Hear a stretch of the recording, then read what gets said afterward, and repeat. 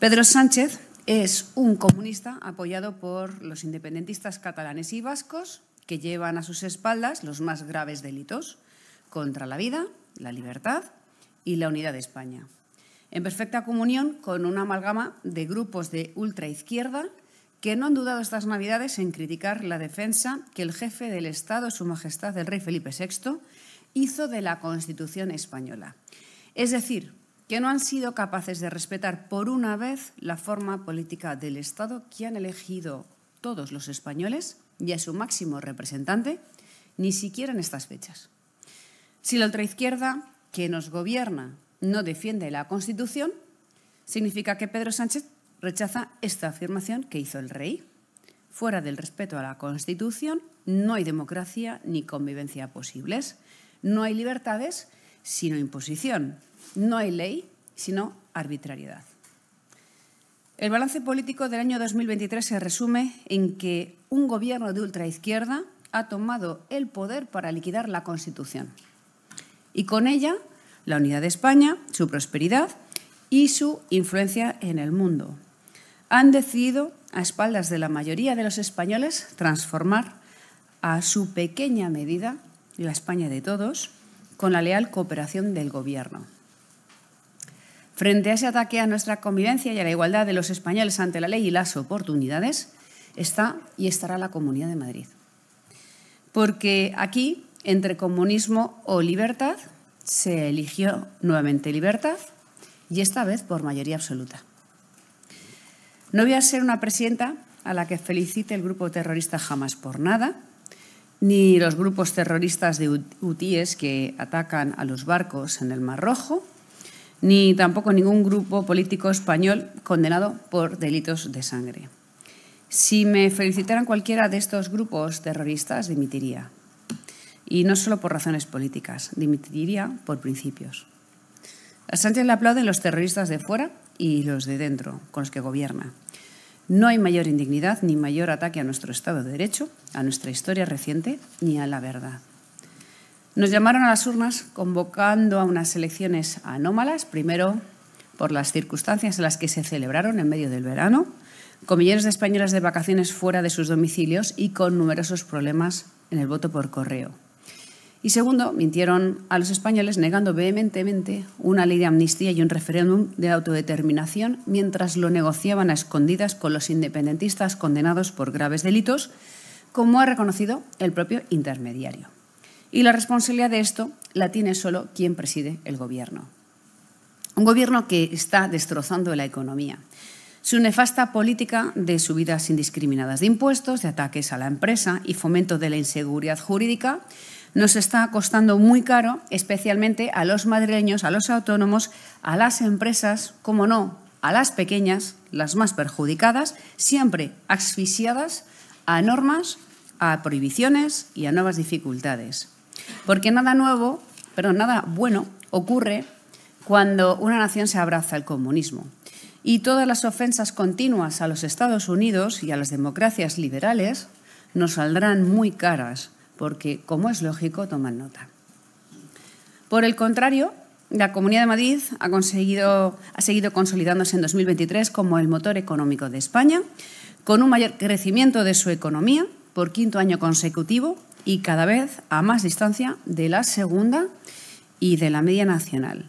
Nuestra región es la que más puestos de trabajo crea, empresas nuevas abre, inversión extranjera atrae con datos históricos de turismo, con una sanidad pública que sigue destacando en los mejores informes como una de las mejores de España y de Europa, con una educación que ha escalado en los primeros puestos de la OCDE en el reciente informe PISA. En definitiva, la Comunidad de Madrid está más de moda que nunca y nuestros servicios públicos crecen y mejoran.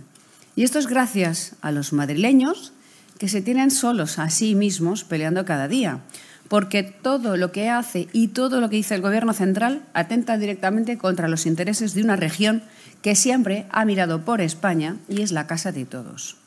Apenas lleva un mes este desgobierno y no ha habido un día que no haya sido proactivo en el desastre. Millones de españoles se manifiestan contra la ley de amnistía, criticada por todos, todos los colectivos judiciales Maniobra que nos ha dejado en un muy mal lugar ante Europa. El Tribunal Supremo anula el nombramiento de la presidenta del Consejo de Estado y de la exministra de Justicia como fiscal de sala. Y el Poder Judicial considera que el fiscal general del Estado no es idóneo para el cargo. Crisis diplomática con Israel tras el, brutal atentado de Hamas. Tel Aviv retira a su embajadora en Madrid. Ataques constantes al nuevo presidente de Argentina, recientemente elegido en las urnas, ofensas a políticos alemanes y ninguneo por parte de los franceses. Un verificador salvadoreño, experto en guerras civiles, tutela la primera reunión secreta en Ginebra entre el PSOE y Junts, que fue la primera. Ahora va a ser la meca de la política española tras poner allí un fotocol. Pero esto es todo por prepotencia. ¿Que no les gusta la foto con Puigdemont? Pues se van a hartar de fotos con él. Los efectos de la ley del solo sí es sí, por supuesto, siguen creciendo, a más, cada día. 1.233 rebajas de penas a agresores sexuales. Ya son 126 aquellos que han salido de la cárcel para horror de sus víctimas.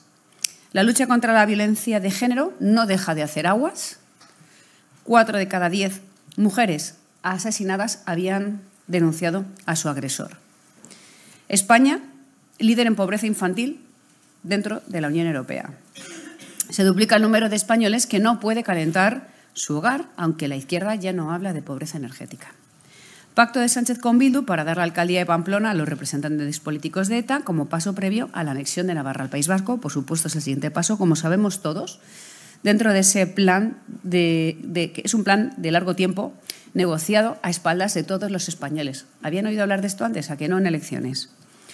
Es el mismo secretismo con el que están alimentando la independencia de Cataluña. Los terroristas hutíes del Mar Rojo felicitan a Pedro Sánchez por no participar en la alianza internacional contra los secuestros de barcos, lo que otra vez nos lleva a un nuevo enfrentamiento con los Estados Unidos, como decíamos anteriormente. Nos hundimos, como no es de extrañar, en el ranking económico internacional. No hace mucho éramos la octava potencia del mundo, hoy andamos por el decimosexto puesto. Se reducen significativamente las inversiones en España, un 23%, la deuda pública desbocada sin que nadie dé cuentas por ello. Y además cada día ocurren nuevas noticias que siempre calificamos de increíbles, pero que no nos cansaremos de denunciar y recordar porque la memoria solo es frágil para quien no tiene principios. En 2024 seguiremos esforzándonos para que nadie consiga aislar a los madrileños tras ningún muro y para que la Constitución y el Estado de Derecho sigan presidiendo la vida pública. Y para que los esfuerzos de quienes estudian, trabajan y pelean en la Comunidad de Madrid vean sus frutos. Porque somos la región que premia la excelencia y el trabajo bien hecho, donde luchar merece la pena. Y termino. Defenderemos los intereses de Madrid con todos los instrumentos a nuestro alcance. Seremos exigentes con quienes intenten perjudicarnos y a la vez seguiremos ofreciendo a los madrileños nuevos y mejores servicios públicos. Siempre he defendido que no solo se trata de gestionar unos servicios y hacerlo bien, sino también de defender un modo de ver la vida, que es lo que hacemos todos en la Comunidad de Madrid a pesar de las dificultades. Por eso nos hemos convertido en el mejor lugar para emprender, prosperar y alcanzar metas. Somos un lugar de apertura, alianzas y esperanza para todos aquellos que han perdido la prosperidad y la libertad, para todos aquellos a los que les han arrebatado las ganas de emprender con su talento, contratar, arriesgar. Y por eso tenemos una misión con España entera y no defraudaremos. Quiero terminar agradeciendo su labor a los medios de comunicación y a los profesionales que trabajan en ellos. Que 2024 les traiga muchos éxitos, así como el imprescindible espacio de independencia que necesitan para realizar su labor como contrapeso democrático. Como sucede con la justicia, poder del Estado esencial para la preservación de nuestra democracia y que no todos respetan. Frente al comunismo está y estará Madrid, que como isla de libertad derribará el muro que está levantando la ultraizquierda con sus socios. Ante quienes abiertamente avisan de que quieren destruir España, estaremos nosotros, que por el contrario queremos ofrecerle sus mejores años. Ante el desastre estará la Comunidad de Madrid. Muchas gracias, feliz Navidad y próspero año nuevo.